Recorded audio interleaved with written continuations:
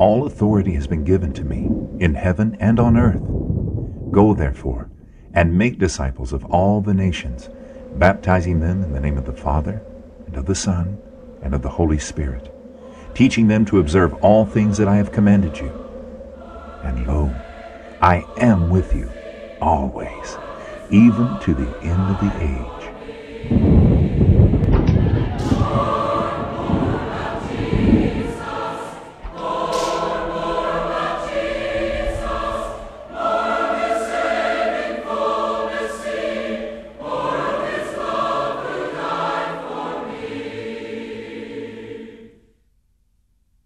Greetings, ladies and gentlemen. As I recall, the last time we were together via TV, we were talking about a figurative speech uh, referred to as a metaphor.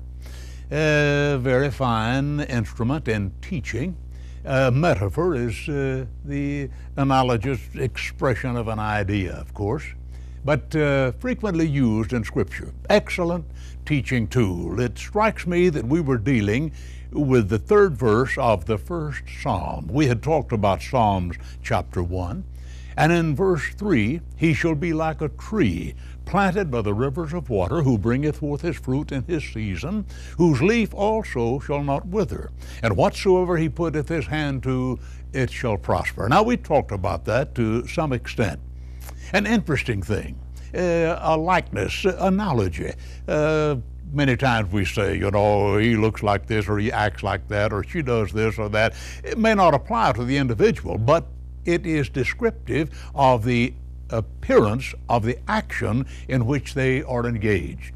Ah, yes, and it can be used, as we said, just like the parables of the Lord. Now, parable is a little bit different and yet falls pretty well into the same category.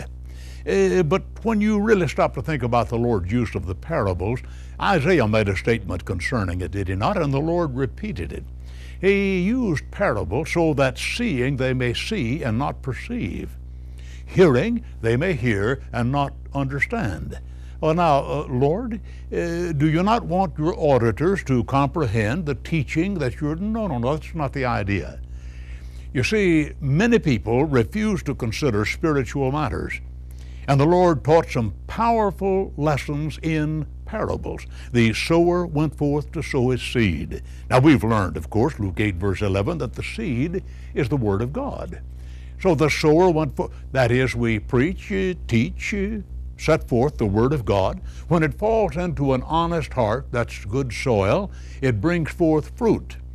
However, when that seed falls into an unconcerned, disinterested, non spiritual mind or heart, people turn away in disgust.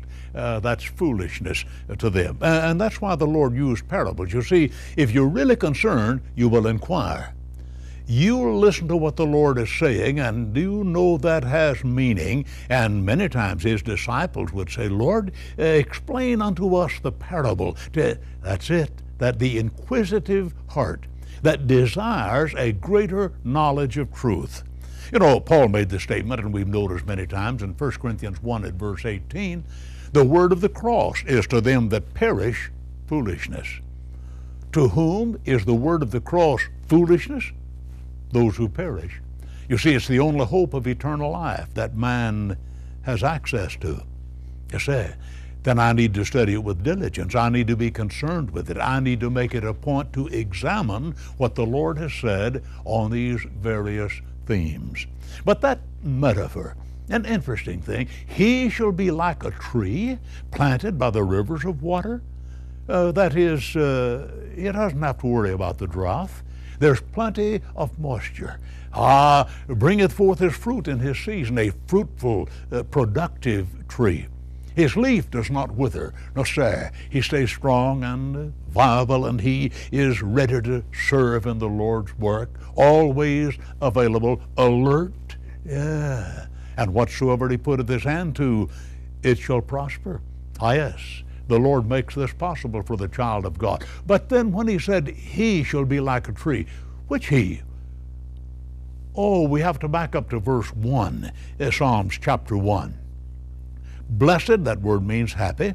Blessed is the man who walketh not in the counsel of the ungodly, or standeth in the way of sinners, or sitteth in the seat of the scornful. Uh, do you notice the progressiveness of sin? The progressiveness of a negative attitude toward the Lord's will? Blessed is the man who walketh not in the counsel of the ungodly, a casual meeting, walking or standeth in the way of sinners. The first thing you know, he's latched into that thing, and they are to or sitteth ultimately in the seat of the scornful. When one turns a deaf ear to the teaching of God's Word, when he determines that he's going to do his own thing in his own way, he winds up being critical. He winds up sitting in the seat of the scornful. To him, spirituality is folly. It is uh, foolish. The progressiveness of sin. It's no wonder that Paul made the statement in 1 Corinthians 15, verse 33 Be not deceived. Evil companions corrupt good morals. So don't be found walking in the way of the ungodly. You will ultimately be standing in the way of sinners. And finally, sitting in the seat of the scornful. But just a moment, we were talking about the he that is like unto a tree planted by the rivers of water. Ah, he does not walk in the way of the ungodly. Oh, no, no, no. But whose delight is in the law of the Lord, and on his law doth he meditate day and night. Oh, just a moment.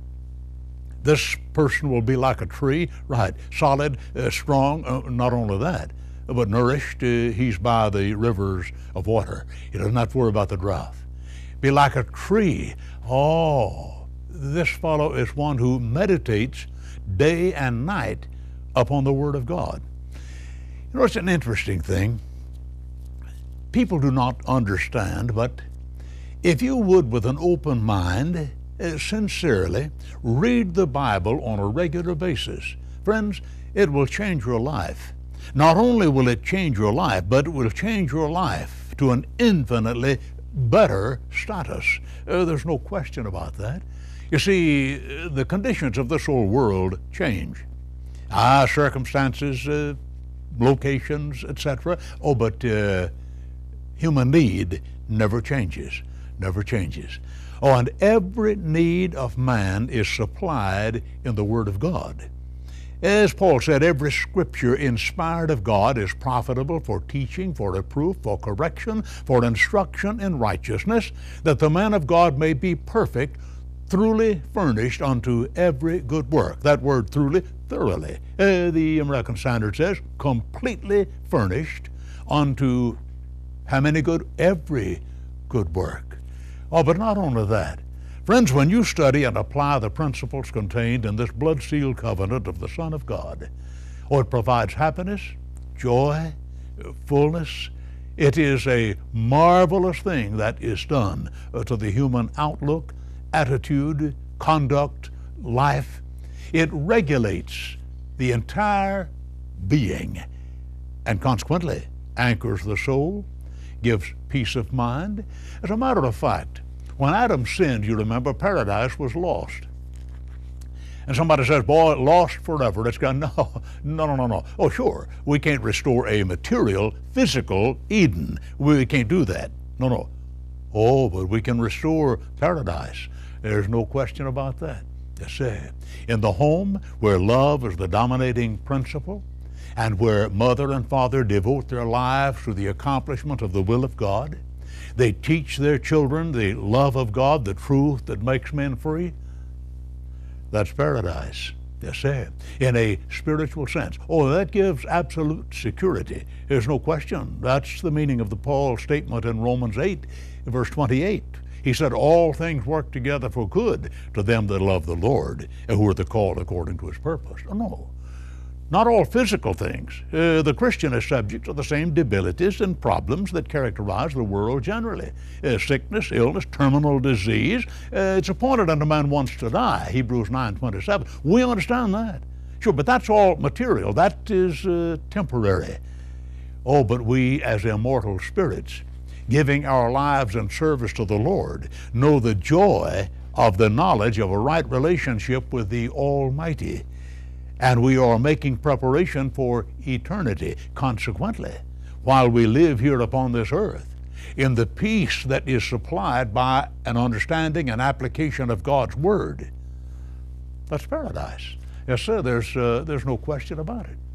Metaphor. That's interesting. He should be like a tree planted by the rivers of water, who bringeth forth his fruit in his season, whose leaf also doth not wither. Whatsoever he putteth his hand to, it shall prosper. Now he goes on to say in the very next statement, the wicked is not so.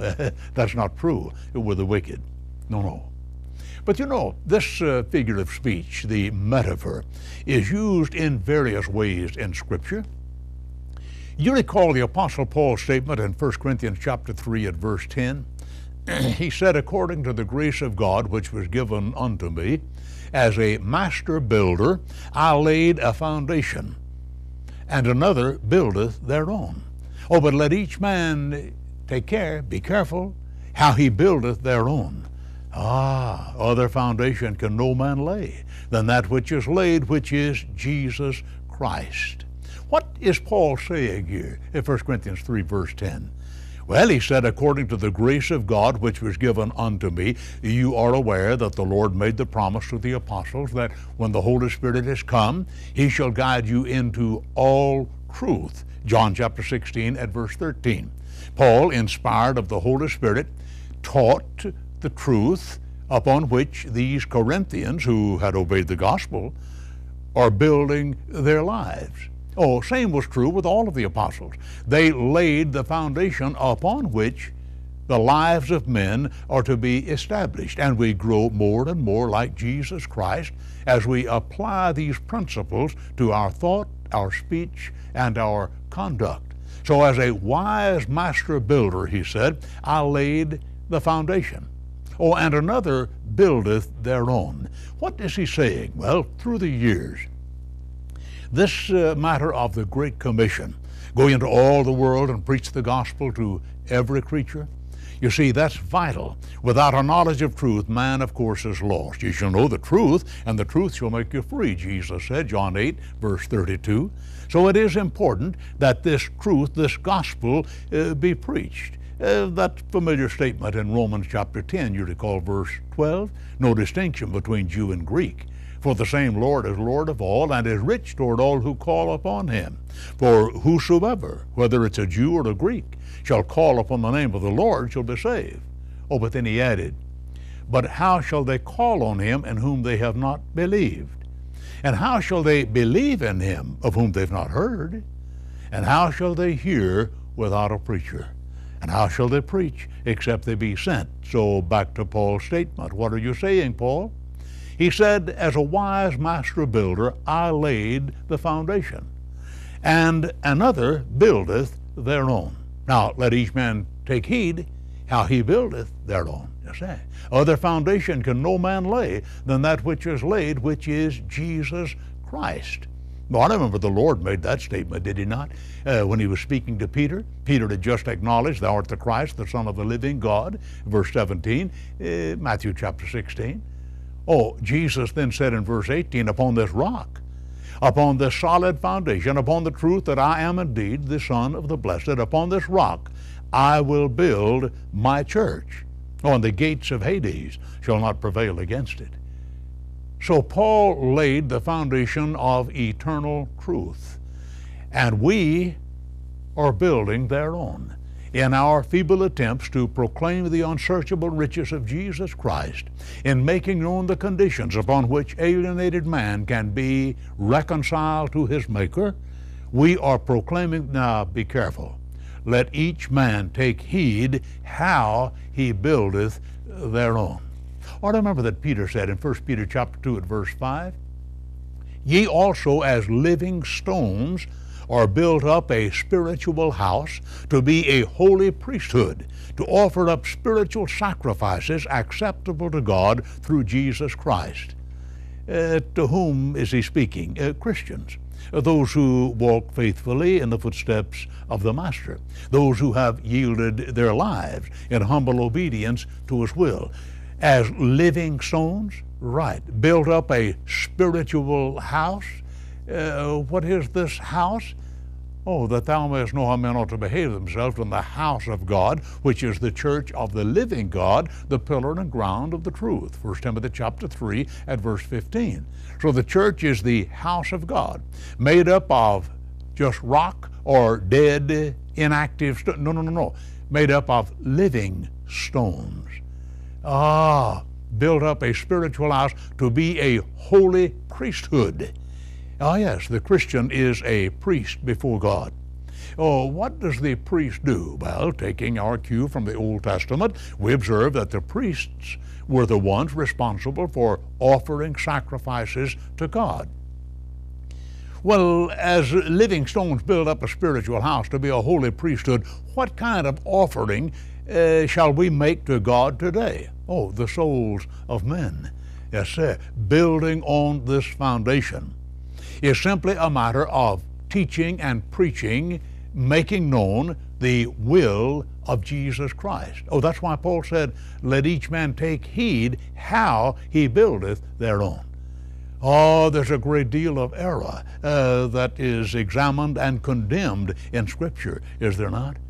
Ah, Paul said, I marvel that you're so soon removing from him who called you into the grace of Christ unto another gospel which is not another gospel, only there be those who would trouble you and pervert the gospel of Christ. Galatians chapter 1 at verse 6.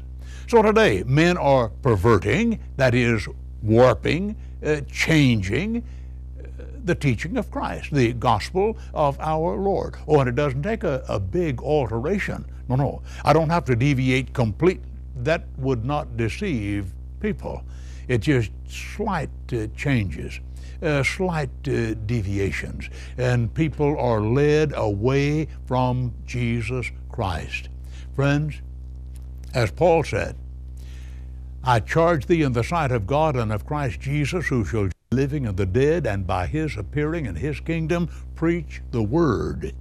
And not casually, be urgent, in season, out of season Reprove, rebuke, and exhort with all long suffering and teaching.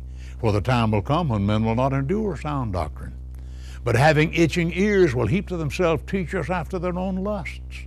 Oh, they'll turn away their ears from the truth and be turned aside unto fables. Be thou faithful in all things. Suffer hardship. Do the work of an evangelist. Fulfill thy ministry. Yes, the inspired apostles laid the foundation. And the teaching that we do today, thus saith the Lord, book, chapter, and verse. This is the last will and testament of the Son of God. It is to me amazing that many otherwise good people, uh, morally upright, deeply religious, will tell you that, oh, well, now this is irrelevant or non essential, or the Lord didn't mean what He said here, or, or that is a specific statement that is to be applied in a general friend. The Lord Jesus Christ said exactly what He meant. He meant exactly what He said. And every word in this book, as we've noted many times, is a word of Christ. Oh, and you and I will stand before Him to be judged on the basis of that judgment, John 12, verse 48. He said, He that rejecteth me and receiveth not my sayings hath one that judgeth him. The words that I have spoken, the same shall judge him in the last day. So I need to order my life by a thus saith the Lord. And the remarkable thing about it is that this book says to you exactly what it says to me and I can't add to or to delete from it, nor may I substitute for it. Every word of God is tried. He is a shield unto them that put their trust in him. Add thou not unto his word, lest he reprove thee, and thou be found a liar. Proverbs 30, verses 5 and 6. Oh, and the last few statements in the Bible itself, Revelation chapter 22, ah, verses 18 and 19. I testify unto every man that heareth the words of these book, this book, if any man shall add thereto, God shall add to him the plagues that are written in this book. And if any man shall take away from the words of the book of this prophecy, God shall take away his part from the tree of life, or from the holy city, and from the thing. Well, wait a minute. We, we can't add to, delete from, or substitute for God's word. That's right. What did you say to Timothy, Paul? Preach the word. That was 2 Timothy chapter 4, you remember, beginning at verse 1. Yes, sir. And it is an urgent matter. It's not a casual thing at all. You see, your eternal destiny is contingent upon your attitude toward, your obedience to the Word of God. So it is fundamentally important that I build upon the foundation of inspiration. Just the book, teaching God's Word. No, no, not my opinion. It's what the Lord has made very clear in his teaching. Uh, a metaphor, a wise master builder. Uh, and then faithful Christians are likened unto those who are building upon that foundation that Paul laid. Uh, that's an interesting thing, really. Uh, uh metaphors, of course, are found uh, throughout the Bible. I remember in John chapter 10, uh, the Lord said, Verily, verily, I say unto you, he that entereth not in by the gate or the door, but climbeth up some other way, the same is a thief and a robber. Oh, but he that entereth in by the door, Ah, is the shepherd of the sheep. Unto him the porter openeth. He calleth the sheep by name. He leadeth them out. Oh, and when he's brought them all forth, he goes before them, and his sheep follow him, for they know his voice. A stranger they will not follow, for they know not the voice of strangers. Uh, this John chapter 10, beginning at verse 1. What, what is the Lord saying here? Friend, we are the sheep of his pasture. As a matter of fact, he is the good shepherd. How could I be the sheep of his pasture? Hear his voice. I have recognized him as the Lord of my life as the supplier of my every need, as the source of my happiness and joy and security. As a matter of fact, didn't David make the statement, The Lord is my shepherd, I shall not want? Oh, that is wonderful indeed. The Hebrew writer, you recall, said, Hebrews 13, what is it, verse 5? Uh, be ye free from the love of money, uh, content with such things as you have for himself hath said, I'll never fail thee, neither will I in any wise forsake thee. Eh, so with good courage we say, uh, Whom shall I fear? What shall man do unto me? Oh, the Lord is my helper. What was it? That 23rd Psalm? The Lord is my shepherd. I shall not want. He maketh me to lie down in green pastures. He leadeth me beside still waters. What is he saying? The Lord, if I follow him, is going to make everything physically comfortable for me. He'll make me wealthy in this world. He'll give.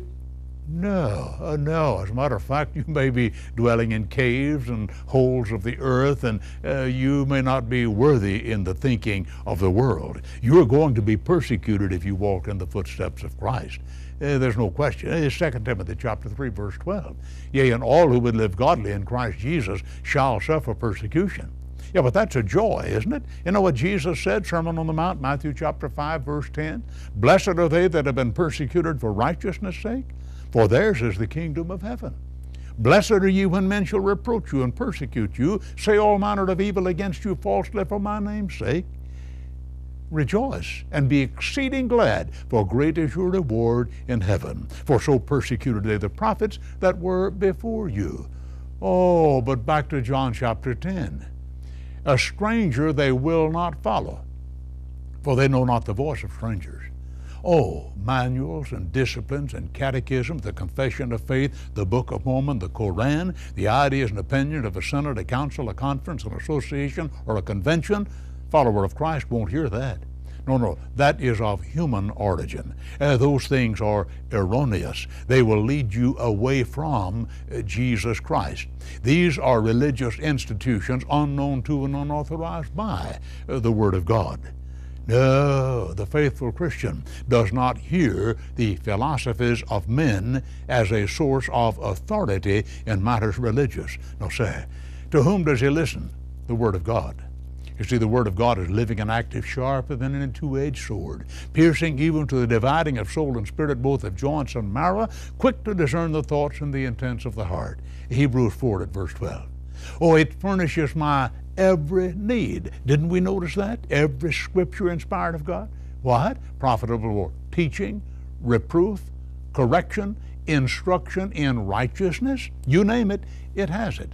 That the man of God may be complete, perfect, completely furnished unto every good work. Friends, it is vital that we stay with a thus saith the Lord. Essay. Jesus is our shepherd. Now, there are many who have come and claim to be religious leaders, and some say, Oh, I've found uh, golden plates and I've received a message from heaven. Falsehood. All of that is false. That simply is not the case. That will not happen. Why? The Word of God said it wouldn't happen. God said that would not occur. So we need then to listen to the Lord, not to be led astray by human philosophy or some fellow who has a particular desire in mind and he hopes to create a religious situation that will enable him to fulfill his lusts. No, no, that's uh, of no value. That will lead you astray.